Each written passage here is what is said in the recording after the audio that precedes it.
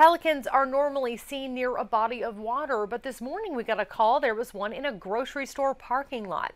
KPLC's Haley Jefferson was there and spoke with Wildlife and Fisheries about what you should do if you should encounter one. To go home. I want him to go back to wherever he's from and, uh, and to survive.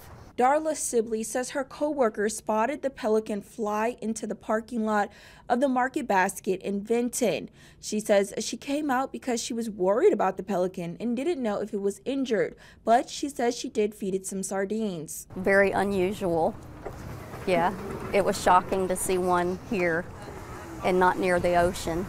In Iowa, a pelican was spotted on a home property. Amanda Fontenot says her son was going to let the dog out Friday when he saw a pelican. She says the pelican has been hanging on a property since then, but as of this morning, the pelican was brought to the Birds of Acadiana Wildlife Rehabilitation. Sibley says she has many questions when it comes to the abnormal bird appearance. But we did hear that a lot of them were on the ground, and we were just curious as to why.